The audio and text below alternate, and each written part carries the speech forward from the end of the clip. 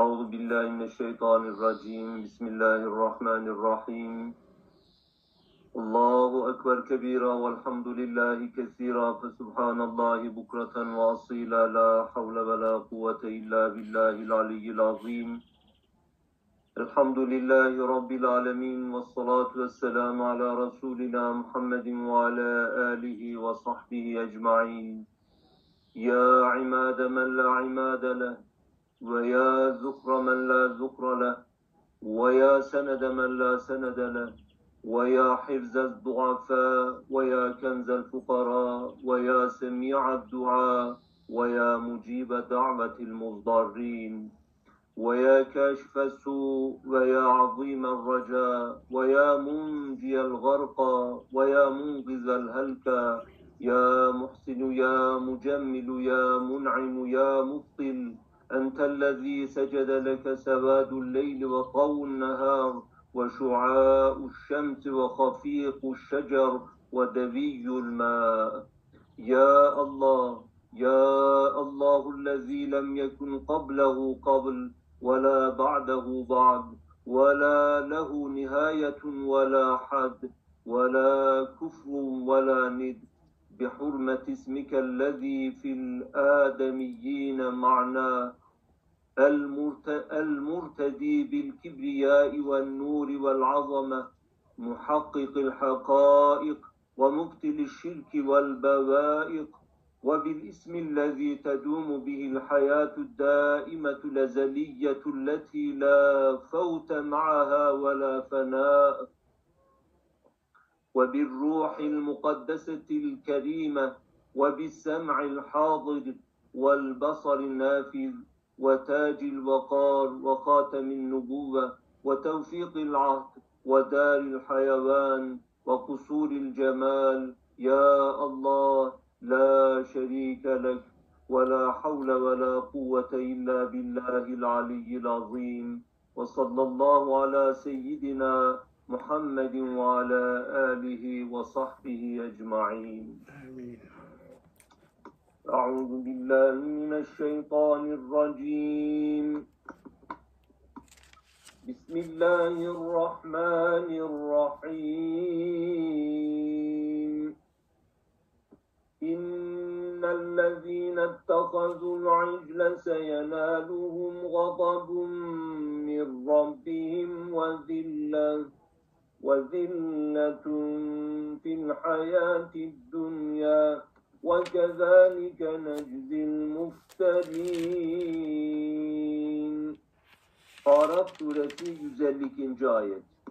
Buzaya tanrı diye tapanlar var ya, işte onlara Rableri tarafından dünya hayatında bir gazap ve bir zillet gelecektir. İşte iftira, iftiracıları böyle cezalandırırız biz. Araf suresinin bir üstteki ayetlerinde Hz. Musa aleyhisselam Kızıldeniz'den cemaatiyle beraber mucizevari bir şekilde öbür tarafa geçtikten sonra orası Tih Sahrası, Sina Çölü. Orada cemaatini bırakarak orasının kuzeyinde bulunan Tur Tur Sina'ya çıktı. Hz. Musa Aleyhisselam'ın şeriatında orası bir mikattı. Bizim dinimizde hacca gittiğimiz zaman Arafat'ın bir mikat olması gibi. Cenab-ı Hak öyle takdir etmiş. Cenab-ı Hak istediği mekana fazilet verir, istediği mekandan da fazileti alır. Yef'alullahu ma yeşâ ve yahkumu ma yurid mekanlar için de geçerlidir. Hz. Harun'u kardeşini e, cemaatin başına vekil olarak kendi yerine bıraktı. Kendisi orada 30 artı 10 gün toplam 40 gün bir ayette 40 gün toplam ifade var. Bir ayette 30 artı 10 gün 30 inziva hayatı son 10 günde kendisine verilen vahiy. iki levha halinde Birisinde 10 emir, diğerinde ise onun tafsilatı olarak 40 gün sonra dönünce bir baktı ki Samiri zaten sarraftı altınlarından bir put yaptı ve insanları ona tapmaya davet etti ve pek çokları da icabet ettiler.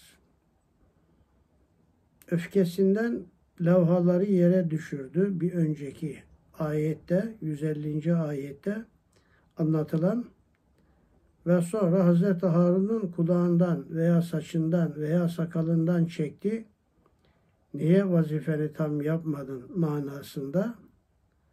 O da cevap verdi. Ben vazifemi yaptım aslında ama fakat bunlar beni dinlemediler.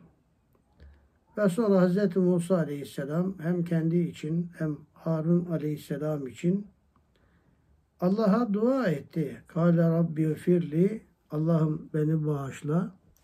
Ve li ehi kardeşim Harun'u da bağışla. Ve edhilne fi rahmetik Allah'ım bizi rahmetine mazhar kıl. E, ve ente erhamur rahimin diyerek böylece bir önceki ayetlerde bu hususu kısaca özetle aktardık. 152. ayette aynı kıssa devam ediyor ve mealim münifini okudunuz. Onlar buzağıya tanrı diye tapanlar var ya işte onlara Rableri tarafından dünya hayatında bir azap, bir zillet gelecektir. İşte iftiracıları böyle cezalandırırız ifadesi.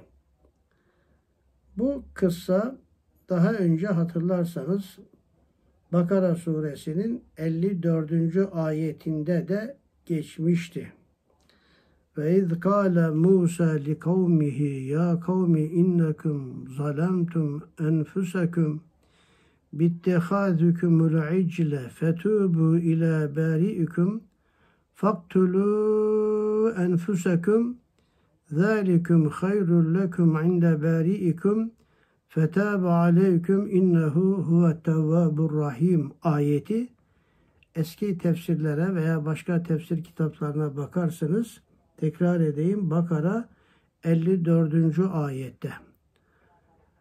Musa aleyhisselam kavmine demişti ki ey kavmim şüphesiz siz buzağı tanrı edinmekle kendinize zulmettiniz.'' Demek ki onlar bir zalimler topluluğu oldu. Onun için yaratanınıza tövbe ediniz. Tövbeye davet ediyor. Bu ayette üç defa tövbeye davet edilmiş veya üç defa tövbe kelimesi geçiyor. Nefislerinizi öldürünüz dedikten sonra e, öyle yapmanız yaratıcı, yaratıcınızın katında sizin için daha hayırlı. Böylece Allah tövbenizi kabul etmiş olur. Tövbe ediniz ama tövbelerin kabul olma şartlarından bir tanesi de nefsimizi öldürmek. Burada o görünüyor. Böyle yaparsanız Allah tövbelerinizi kabul eder. Bir daha tövbe kelimesi geçti. Ve sonra Allah'ın Tevvab ismi de tövbeleri kabul eden Rahim ismiyle beraber meccani olarak Allah tövbelerinizi kabul eder manasında Bakara suresinin bu ayetiyle şimdi okuduğumuz Araf suresi 152. ayeti yan yana getirip beraberce ele almak gerekiyor. Bu ayette dikkatimizi çeken bir husus var bu buzaya tapanlar, altına veya dünyaya meyledenler veya tek Allah inancını terk edenler seyeneluhum gadabun bir gazap onlara erişecektir. Min Rabbihim Rablerinden bir gazap. Gadap da Türkçe'de söyleniyor. Gadap gelecek demek yani aynı zamanda onlara bir ceza gelecek demektir cezalar geldi zaten. Bir gadaf var, cezalar gelecek. Hiç ummadığı yerlerden başlarına bela gelecek.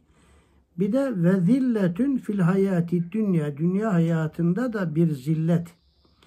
Burada iki tane cezadan bahsediliyor. Allah'ın gadabı ki rahmetten mahrumiyettir, cezadır. Bu hem dünyayı hem de ahireti içine alır.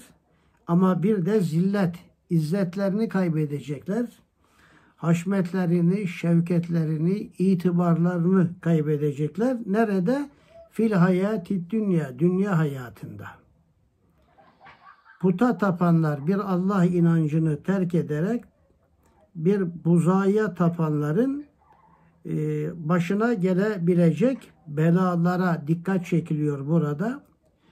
Özelinde Hz. Musa Aleyhisselam'ın kavminin yaptığı, Samir'in yaptığı buzağıya tapma görünse de ama genelde ise yani bir Allah inancı içerisindeyken Allah inancını terk eden ne kadar varsa hem dünyada başlarına azap gelecek hem de ahirette hem de dünyada zillete maruz kalacaklardır demek.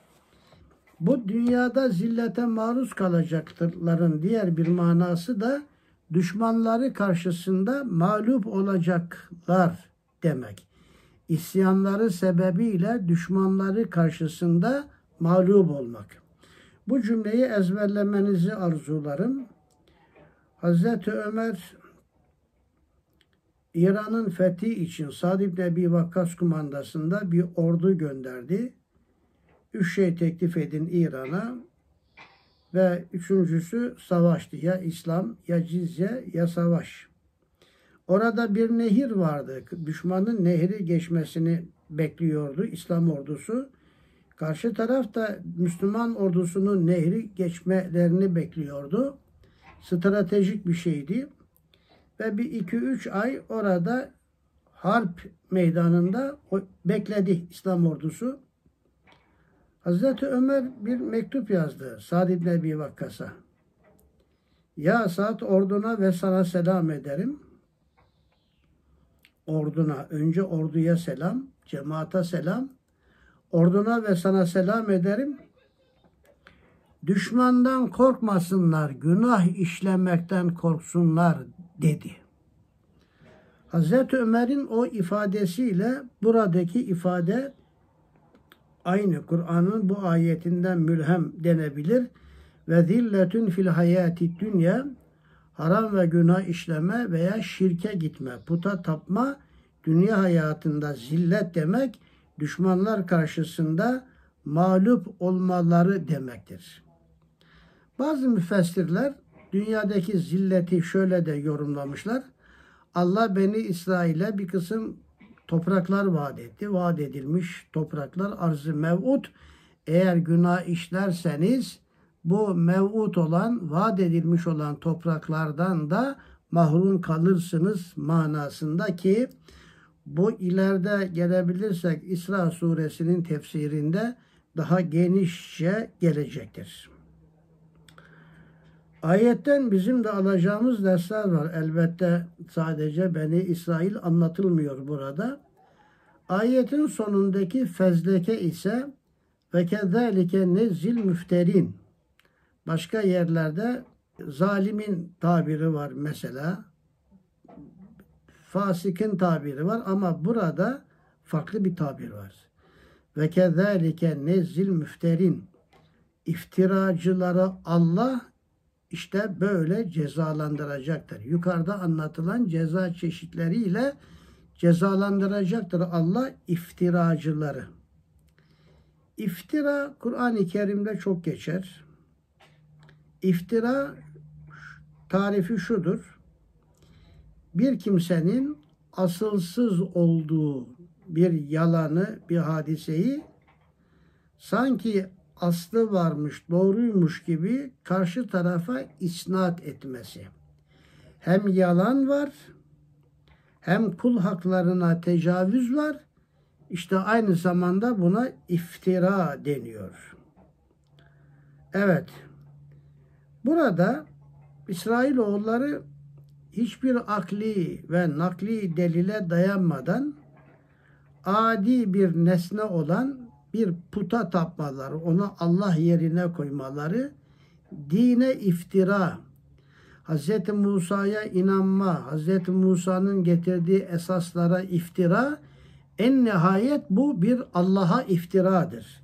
Kur'an-ı Kerim'de ısrarla Cenab-ı Hak Allah'a iftiradan bahseder ve iftira edenlerin de cezasının bu olduğunu ama bu iftiranın bütün çeşitlerini içine alır. İftira edenlerin bütününü az veya çok olarak içine alır. İftirayı tekrar ediyorum. Bir kimsenin asılsız olduğunu bile bile bir başkası hakkında bir iddiada bulunması ona suç isnat etmesi. Bunların dünyada da zilleti var, dünyada da cezası var.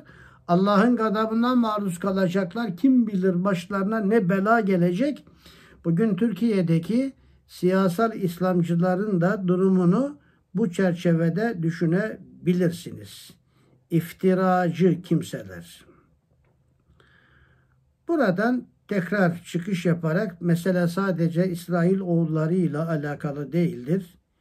Ne kadar iftiracılar varsa tek Allah inancından uzaklaşmış, puta tapan, mala tapan, dünyaya tapan, makama tapan, şöhrete, şehvete tapan ne kadar varsa onların da akibeti bu ayette anlatılanların akibeti gibi olacaktır demektir.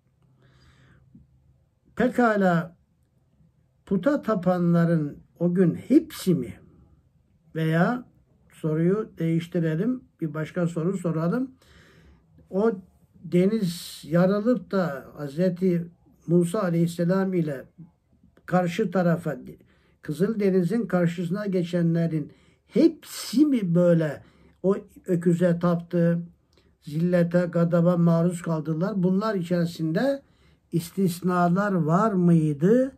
İşte 150 üçüncü ayet bu istisnaya dikkat çekiyor. Buyurun. 153. Hocam geçmeden bu müfterilerle alakalı bir soru sormak istiyorum. Estağfurullah buyurun. Şimdi şu anda dışarıda olan müfterilerle alakalı cezai ifade buyurdunuz. Estağfurullah. Fakat şu anda kendi içimizde malum haliniz müfteriler var. İftiracı arkadaşlarımız oldu ve birçok insanın kanına girdiler. Ve şu anda da bazılar itibariyle aramızda çok rahat dolaşabiliyorlar. Bunlara karşı hizmetin tavrı ve şahsi tavrımız ne olmalıdır? İşte 153. ayet bunu anlatacak. Buyurun. وَالَّذ۪ينَ عَمِلُوا السَّيِّئَاتِ ثُمَّ تَابُوا مِنْ بَعْدِهَا وَآمَنُوا إِنَّ رَبَّكَ مِنْ بَعْدِهَا لَغَفُورٌ رَحِيمٌ 153. ayet Günahları işledikten sonra arkasından tövbe edip iman edenler için ise Rabbin elbette gafur ve rahimdir. Affı ve merhameti boldur. Burada aynen bu iftiracılar eğer ciddi tövbe ederlerse özelinde Hz. Musa Aleyhisselam'ın Tur'a gitmesinden sonra arkada buzağıya tapanlar bunlar tevhidden ayrılmış, şirke gitmiş, küfre gitmiş kimseler. Bunların tekrar tövbe etmesi ama ayete dikkat ederseniz tövbeden sonra tabu min ba'dihe arkasından tövbe ve emenu diyor. Tövbeyi imandan önce saymış. Demek iftiracıların özelde onlar az önce arz ettim ama mutlak manada iftira şirke ve küfre yakındır. Çünkü onda derin bir kul hakkına tecavüz vardır. Onun için iftiracılar önce tecdidi iman ederlerse elbette kul hakları noktalarında helallaşarak bir de fiili tövbe yaparlarsa bundan sonra Allah onlar için de gafur ve rahimdir deyip iftiracılar için veya puta tapmış, şirke tapmış, tevhidden ayrılmış yukarıdaki ayetlerde anlatmıştık. Yani bir sürü ameli var, ibadeti var. Sonra mürtet olmuş. Gerçekten hakiki iman noktasında mürtet olmuşların amelleri boşa gider. Bu mevzudaki mezheplerin noktayı nazarlarını bir önceki derste birkaç ayete dayanarak şerh etmiştik. İşte bunlar tekrar tecdidi iman eder, kul hakları noktasıyla helallaşarak fiili tövbe yaparsa Allah onlar için gafur ve rahim ifadesini kullanıyor. Ayeti kerime. Bu mesela Kur'an-ı Kerim'de aslında çok başka başka ayetlerde de anlatılıyor. Mesela ben buraya yazmışım Furkan suresi 70. ayet. Vahşinin imanı ile alakalı kaç kademede nazil olan ayetlerde İlla men tâbe ve âmene ve amile amelen salihan. Tövbe burada da tövbe imandan önce gelmiş. İlla men tâbe ve âmene tövbe ederse, iman ederse ve amile amelen salihan salih ameli yaparsa ki bu fiili tövbe yaparsa demektir. Onların da yübeddulullahi seyyiatihim hasenet Cenab-ı Hak seyyiatlarını hasenata tebdil eder. Şimdi burada vellezine amilüs seyyiat kötü amelleri işleyen, işleyip de sümme tâbü sonra tövbe ederse. Bu özelinde tekrar edeyim. Samiri ve çevresindeki o öküze, icle tapanlar ama genel, genel manada e, tevhidden ayrılıp şirke gitmiş veya ibadetlerde kul hakları noktasında iftiracılar. İftiracıları Allah affederse biz de affederiz. Ama Allah'ın affetme şartlarına biz de bakmalıyız. Bir defa tövbe edecek ve iman edecek. Ve diğer Furkan suresindeki 70. ayette anlatıldığı gibi bir de imandan sonra salih amel yapacak ki işlemiş olduğu günahların zıttındaki iyi ameller demek. Bunun adı fiili tövbedir. Bunları yaparlarsa işte muhakkak inne rabbeke min ba'dihe bundan sonra muhakkak ki senin Rabbin la gafurun rahim la lami tekittir manaya kuvvet kazandırır muhakkak ki kat'i ki demek Lami tarif yok. Gafurun sonu nekre eni be, boyu belli olmayan bir mağfiret. Rahim de özellikle Rahman değil de Rahim denmesi ahirette onlar için özel bir merhamet olabilir demektir ki bunların üstünde mesele ayrıca müstakillen durulabilir. Tövbe dönmek, rücu etmek demektir. İlim hal ve amelden meydana gelir. Şirkten tövbe, günahlardan tövbe, biraz daha mesafe kat etmişler için Masivaullah'ı terk etmek suretiyle tövbe. Tövbe bu üç mertebesiyle hangi mertebede şirk içerisinde veya günah içerisinde ise tövbe etmesi bir insanın farzı ayındır. Kur'an-ı Kerim'de Nur suresi 31. ayette bu farz-ı ayın tövbeye dikkat çekilerek ve tübü ilallahi cemian eyyuhel mu'minune leallekum tuflihun Ey müminler hepiniz toptan Allah'a tövbe edin ki felaha erersiniz. Felaha erme burada e, legafurur rahim ile de ifade edilmiştir. Bu mevzuda Tahrim suresi 8. ayete bir bakmanızı tavsiye ederim. Ayrıca Bakara suresi 222'de de İnna Allaha yuhibbu tevvabin ve yuhibbul mutatahhirin. Allah çok tövbe edenleri ve böylece de çok sık sık sık aşırı bir şekilde temizlenenleri sever ifadesiyle anlatılıyor. Ve bu tövbede acele etmek accilu bit tövbeti kablel mevt. Hadis mi bilemiyorum. Hocalar hadis derler. Ölüm gelmeden önce tövbe etmede acele ediniz. Şartlarına uygun bir şekilde tövbe etmek. Tövbenin de kendine göre belli şartları var. Şu anda o noktaya giremeyeceğiz. Küçük günahlardan da büyük günahlardan da tövbe istiğfar etmek. Çünkü günah küçük günahları küçük görüp de tövbe etmemek de büyük bir günahtır. O da zamanla büyük günahlardan bile tövbe edememe gibi bizi bir felakete sürükleyecektir. Ahirette kulun derecesi tövbe derecesine göre olacaktır. Onun için Efendimiz Aleyhisselam Miraç'tan dönünce ben ümmetimden çok günah işleyenlerin cenneti doldurduğunu gördüm. Çok günah işleyenlerin cennette çok olduğunu gördüm buyurdu. Sahabi hayret etti. Ya Resulallah çok günah işleyecek ama cennet çok tövbe edecek. Çok günah işler, çok tövbe eder. Tövbe basamak ve merdivenleriyle yükselir ta cennete alaya yükselir. Ve bir de tövbede temadi etmek yani devamlı yapmak, tövbeyi istiğfarla beraber yapmak bu mesele Kur'an-ı Kerim'de çok daha farklı geniş ayetlerle anlatıldığı için oralara havale ediyorum. Evet. Burada bir incelik daha var. Ona da temas edeyim. Tabu min ba'dim min ba'dihe ve amenu iman tövbeden sonra imanın gelmesi. E zaten adam imanlı ise yine tövbe ediyorsa yani şirk içinde değil de zaten mümindi. İftiracılar çokları mümindir yine.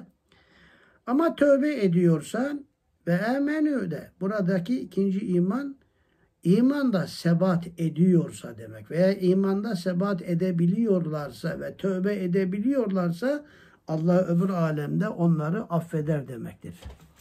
Bize gelince biz iftiracılara karşı sert davranmamalıyız. Kusurlarını yüzlerine vurup mahcup etmemeliyiz. Ancak onlara karşı olabildiğince dikkatli olmalıyız. Hocamızın güzel bir cümlesi vardır. Hüsnü zan, ademi itimat. Onlara itimat etmemeliyiz ama hüsnü zanda bulunmalıyız. Hizmete daha büyük tahribat vermelerine mani olabilecek bir yaklaşım, bir şuur, bir basiretle hareket etmeliyiz. Ama tövbe kapısı herkes için açıktır. Kul haklarıyla herkes de el allaşabilir. Allah'a havale ederek e, yani böyle çok da mahcup etmeden acaba yumuşak davranarak onları da kazanabilir miyiz? Tövbe edebilirler mi? Ahiretlerini kurtarabilirler mi? Böyle bir yaklaşım içerisinde herhalde e, amellerimizi, tutum ve davranışlarımızı buna göre ayarlamak yerinde ve isabetli olacaktır. Eğer bir baskı, şiddetli bir azap ile onları söyleme mecburiyetinde kaldı ise getiriyorlar önüne imza attırıyorlar. Ee, yok yani hanımına tecavüz edecek veya öldürecek. Bunlar zaten men ükrihe kaydına girer. Zorlama olduğu için onlar ondan da indallah mazur olurlar. Bizler hangi şıkkı ve iftiracı olduğunu bilemeyiz ama fakat genel manada yumuşak davranmakla da onları kurtarabilir miyiz? Gayreti içerisinde olmalıyız diye Kur'an'dan anladığım mana budur. Şimdi bunlar hakkında bu hususlar anlatıldıktan sonra yukarıdaki ayette Musa Aleyhisselam'ın öfkesinden bahsedilmişti. Musa Aleyhisselam öfkesiyle getirdiği levhaları yere bıraktı ve onlar da kırılmışlardı. Şimdi tekrar Musa Aleyhisselam'ın durumuna dönüş yapıyoruz. 154. ayet. ayet. Buyurun. وَلَمَّا سَكَتَ عَنْ موسى الغضب أخذ الألواح وفي نسختها هدى ورحمة للذين هم لربهم يرهبون 154. ayet Musa'nın öfkesi yatışınca levhaları yerden aldı. Onlardaki yazıda Rablerinden çekinenler için hidayet ve rahmet vardı. Açıklama Hz. Musa mikattayken Samiri'nin aldatmasıyla altından yaptığı buzağıyı putlaştırma fitnesi, Hz. Musa'nın dönmesinden sonra yaptığı uyarmalarla telafi edildi. Mevcut Tevrat'ın altın buzağı yapma işini Hazreti Harun'a isnat etmesi kabul edilemeyecek bir iftira ve cehalettir. Onlar buzağıya tapmaktan pişman olunca Hazreti Musa onlardan 70 kişi seçecek, seçerek tevbe etmek üzere Tur'daki mikat yerine götürdü. Onlar dağda bir sarsıntıya maruz kaldılar. Gelecek ayet bunu anlatmaktadır. Bir başka seferde Hazreti Musa'nın Tur'a çıkardığı bir başka grup Allah'ı açıkça görmek isteyince yıldırım inmiş ve onlar baygın düşmüşlerdi. Evet burada çok derin birkaç mesele var. Suat Hocam'ın açıklamada ifade ettiği gibi bu daha önce de geçmişti. Bunlar devlet üstalarında, şerhlerinde Hazreti Harun put yaptı filan diye Kur'an'da onun için sarih bir şekilde iki defa Samiri ismi geçiyor dedik. Bunu anlatmıştım. Samiri ismi Taha suresi 85'ten 97'ye kadar olan ayette bir 85. ayette bir de 95. ayette iki defa Cenab-ı Hak Samiri'yi isim olarak zikrederek bu altından put ve buzağı yapma işini Hazreti Harun değil. Çünkü peygamberler şirke gitmezler. Peygamber de ama sonra vazgeçti. Peygamber de ama günah işledi.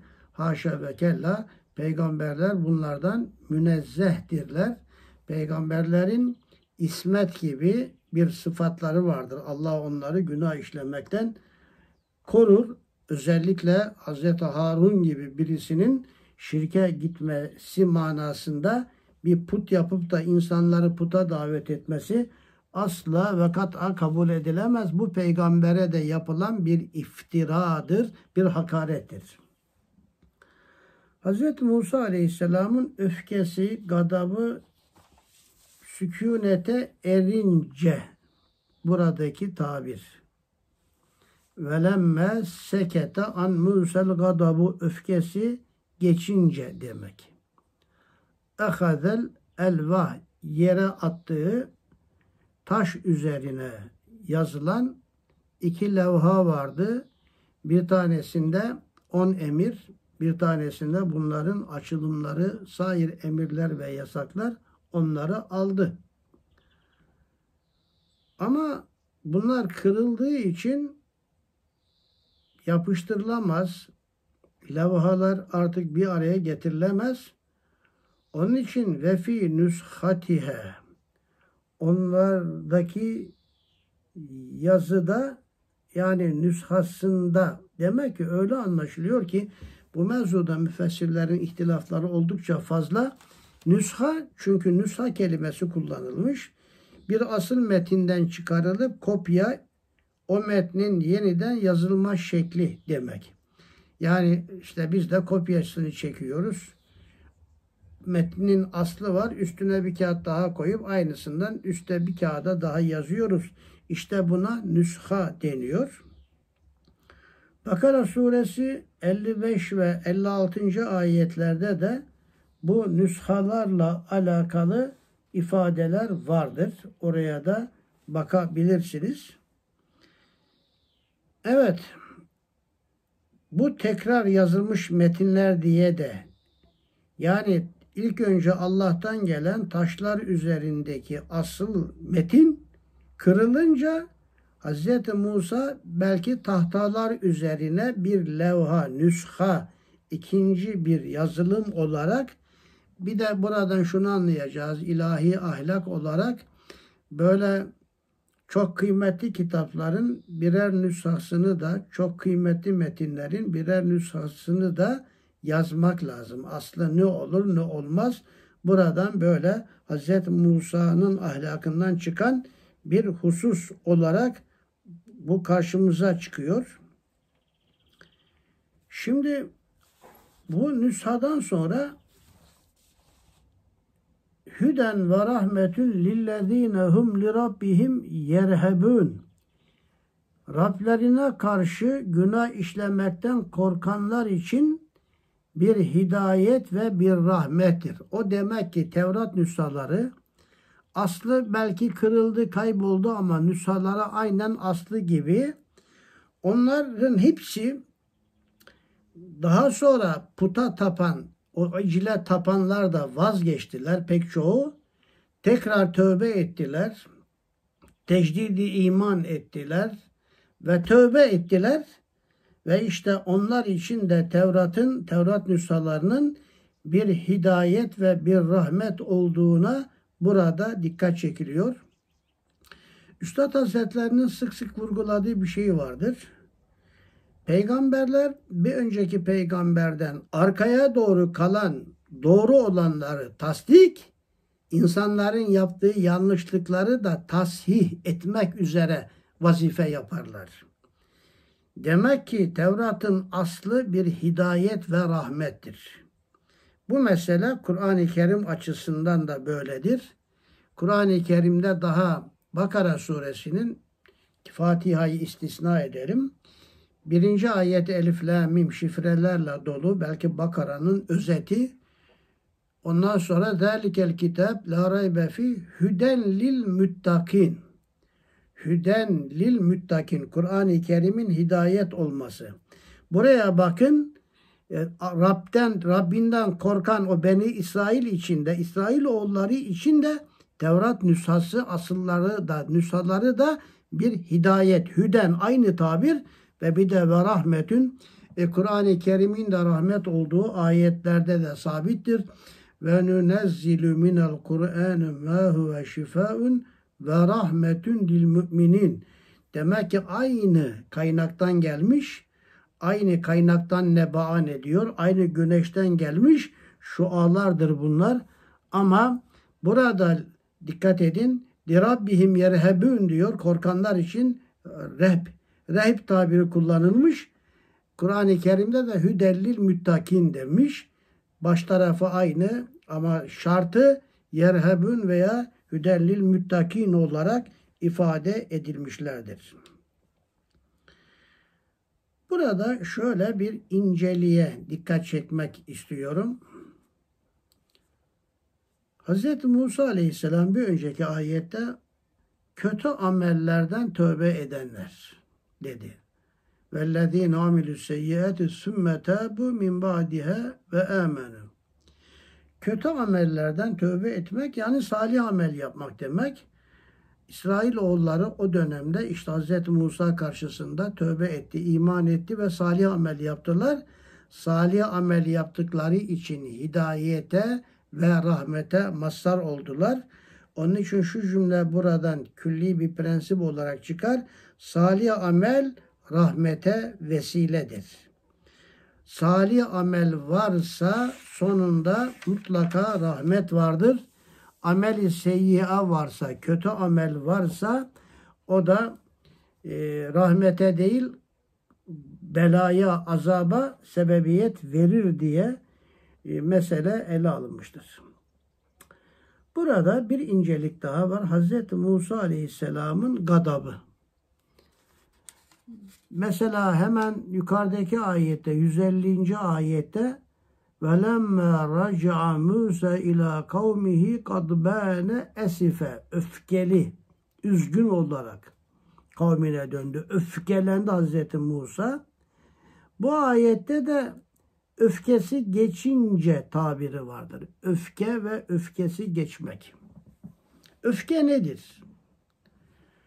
Hz. Musa Aleyhisselam'da bile öfke yani peygamberde bile öfke eğer kontrol altına alınmazsa yapmaması lazım gelen şeylerin yapılmasına sebebiyet verebilir. Aslında öfke duygusu insanda fıtridir. Tabiatımızda vardır. Ama bunu kontrol etmek lazım. Hz. Musa öfkelendi ama Allah için öfkelendi. Kendisi şahsi için değil. Allah için öfkelenmede bile eğer dengeli öfkelenmezse bir insan yanlış yapabilir. Ve öfkeli insan doğru karar veremez. Kararlarında adil olamaz. Onun için hadis-i şerifte Efendimiz buyuruyor ki hakimler öfkelendiği zaman mahkemede karar vermesinler. Başka bir şeye de öfkelenebilir. Hanımına öfkelenebilir. Ne bileyim bir haksızlığa öfkelenebilir. Mahkeme bir başka mahkeme yani başka bir şahsın mahkemesi olsa bile o şahıs hakkında bile karar vermemeli, adil olamaz hadis-i şerifte.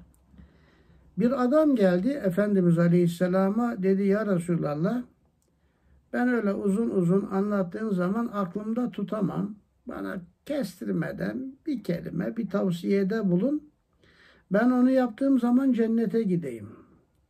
Efendimiz Aleyhisselam ona bir kelime tavsiyede bulundu. La taudab ezberleyebilirsiniz. La taudab gadaplanma dedi ona. Gadaplanma, öfkelenme kardeşliği de parça parça ettiği gibi karı koca arasını da parça parça eder, aileleri de darma duman haline getirebilir.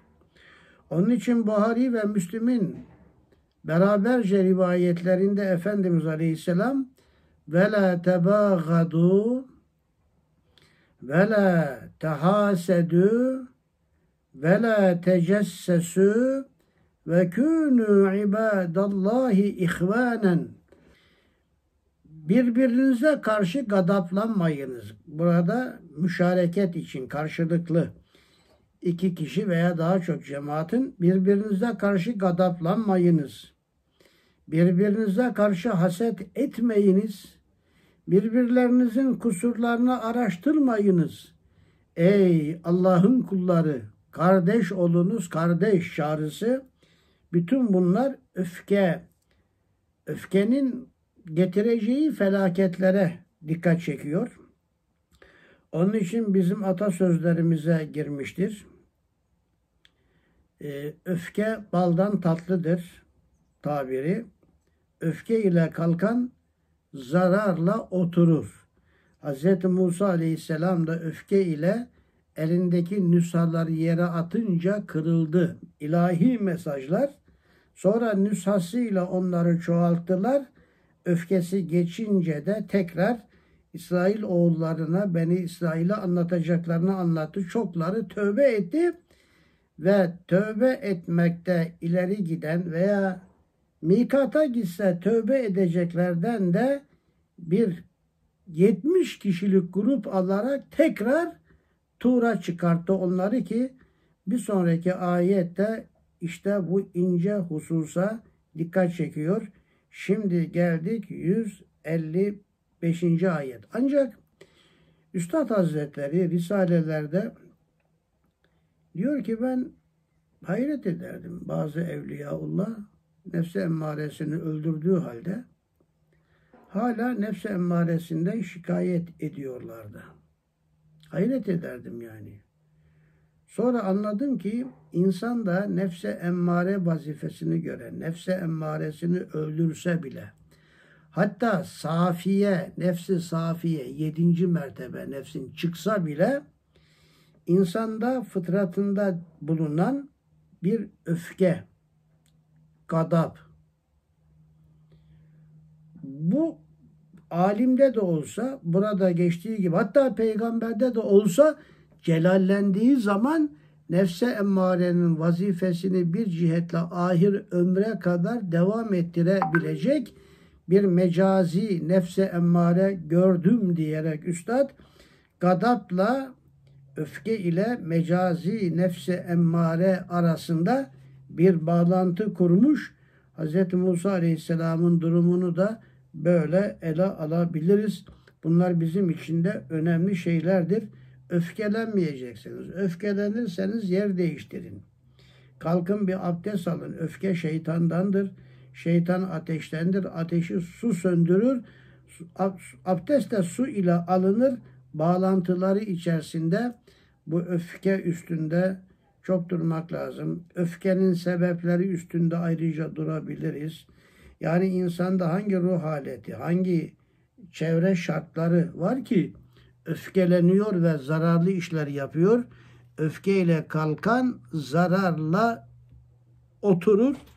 Biraz Hz. Musa Aleyhisselam'ın durumu da ona benziyor. Onun için bir üstteki ayette yani 151. ayet Hz. Musa kendisi için, kardeşi Harun için Allah'tan mağfiret istemesi de öfkesinden dolayı istemiş olduğu bir mağfiret duasıdır.